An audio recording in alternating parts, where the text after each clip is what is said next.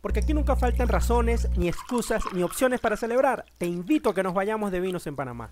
Hola, mi nombre es Jesús Nieves Montero, soy escritor, soy docente de escritura creativa, soy entusiasta del vino, pero sobre todo un amante y restricto de la ciudad de Panamá, de todas aquellas cosas que botella a botella en cada viaje que he tenido la oportunidad de hacer he venido aprendiendo de la vasta oferta vinícola que hay allá. Por eso te doy la bienvenida a De Vinos en Panamá, una oportunidad para explorar cada una de esas botellas que desde los supermercados hasta las tiendas más especializadas tú puedes conseguir acá.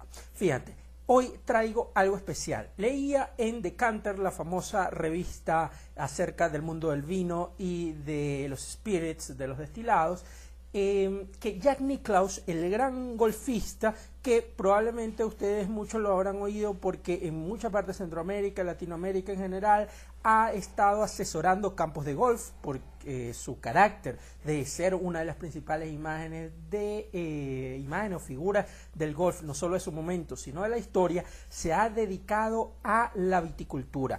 Ha comprado en Napa un conjunto de hectáreas y va a comenzar a hacer vino. Entonces, habiendo leído esto, digo, no puedo dejar pasar la oportunidad hablar de otro gran golfista que también se ha dedicado con empeño y seriedad, que en el fondo es lo que se necesita, a trabajar el tema del vino, que es el señor Greg Norman. Por eso vamos a traer uno de los vinos de los Greg Norman States, en este caso de Australia, su tierra natal, y sin más, nuestra selección para irnos de vinos en Panamá es el Shiraz de la Limestone Coast 2005 de Greg Norman. Fíjense, Greg Norman, eh, quien por su aproximación agresiva a el juego, sobre todo cuando eh, eran esas finales y estaba verdaderamente eh, cerrada la posibilidad de ganar o no un torneo, fue apodado el tiburón. Ah, por eso acá en la botella, vamos a acercarla un poco, tiene este símbolo, este dibujo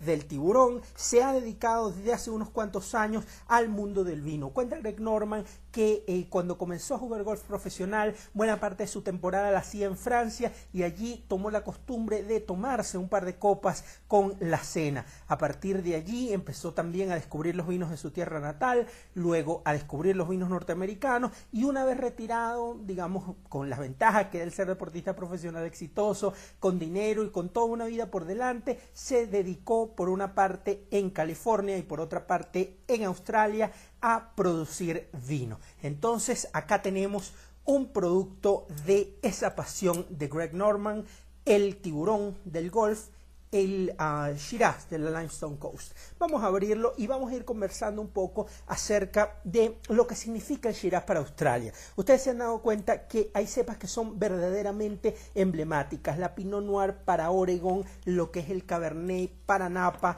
lo que es eh, la Carmener y la propia Cabernet para Chile, lo que es sin duda el Malbec de la Argentina, lo que es la Taná para Uruguay, es lo que es la Shiraz para eh, Australia. ¿Cuál es el riesgo de estas uvas emblemáticas? Bueno, que son emblemáticas en buena parte porque el territorio se presta para cultivarla, por lo tanto mucha gente la cultiva y como ustedes deben saber, el vino como, eh, yo no diría como cualquier cosa en la vida, sino casi eh, más que cualquier otra cosa en la vida, el problema nunca será de cantidad, sino de calidad. Por lo tanto, eh, la tarea no es tanto pensar, bueno, un Shira australiano, sino pensar cuál es aquel que me da las sensaciones con las cuales yo asocio los grandes Shira australianos y cuál es aquel que adicionalmente me da una buena relación calidad-precio. Eso es un poco lo que vamos a tratar de descubrir con esta botella. Primero, fíjense, el corcho tiene básicamente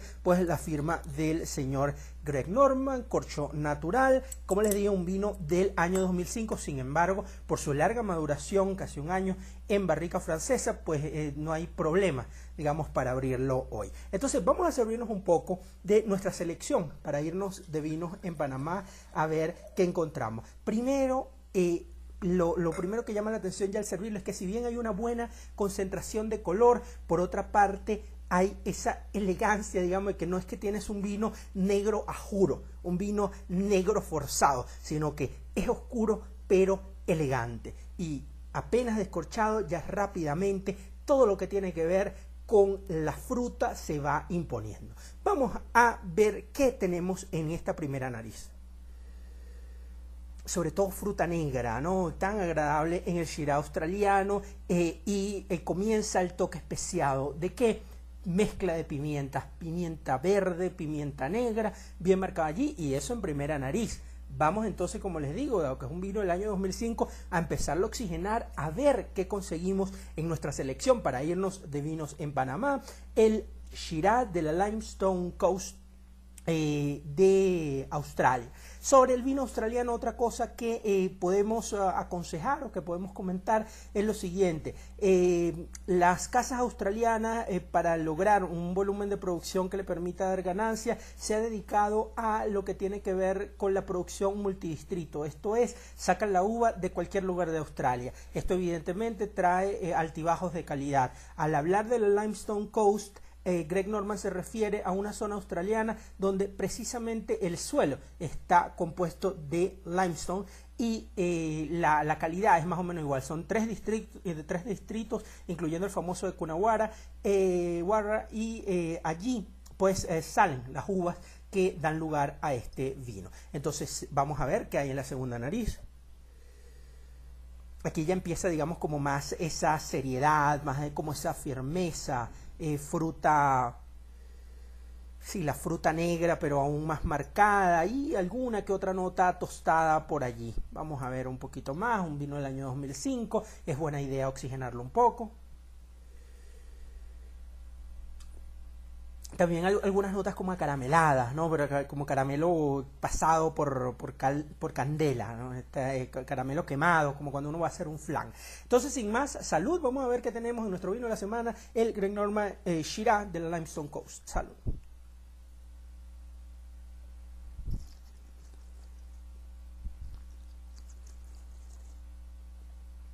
En boca es un vino denso, una marcada así es que la tengo aquí atrás con un final más o menos mm, no tan largo, pero sobre todo esas notas pimientosas, picantosas que te van eh, dando, digamos, ahí en la lengua, están allí presentes. Vamos a probar un poquito más.